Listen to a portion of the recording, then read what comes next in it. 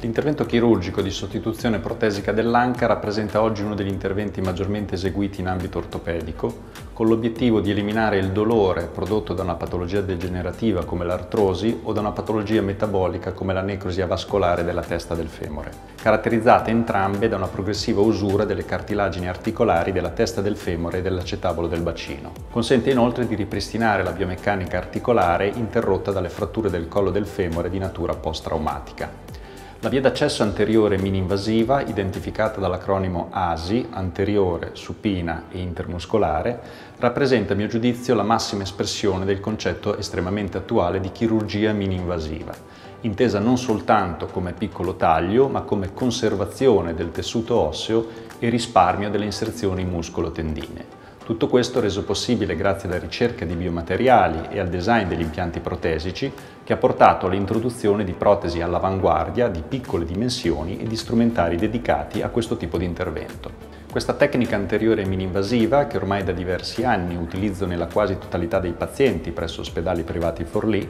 presenta rispetto alle vie chirurgiche tradizionali numerosi vantaggi. Innanzitutto una cicatrice chirurgica cutanea estremamente ridotta, di circa 7 cm nella regione laterale della coscia, con la possibilità di ottenere tramite la variante bikini nella piega inguinale una grande efficacia dal punto di vista estetico, soprattutto nelle donne un minore ingombro di tessuto cicatriziale a livello dei piani muscolari profondi, una riduzione delle perdite ematiche intra e post-operatorie, quindi minor necessità di eseguire trasfusioni, ma soprattutto grazie al risparmio delle inserzioni muscolo-tendinee di glutei ed extrarotatori dell'anca, muscoli estremamente importanti nella stabilità del bacino, consente di ridurre il rischio di zoppia, il dolore post-operatoria e di garantire una maggior stabilità dell'impianto protesico, riducendo quindi la principale complicanza caratterizzata dalla lussazione della protesi. Tutto questo si traduce in un precoce protocollo riabilitativo e una rapida ripresa funzionale con un ritorno alle attività quotidiane, anche sportive, in tempi molto rapidi.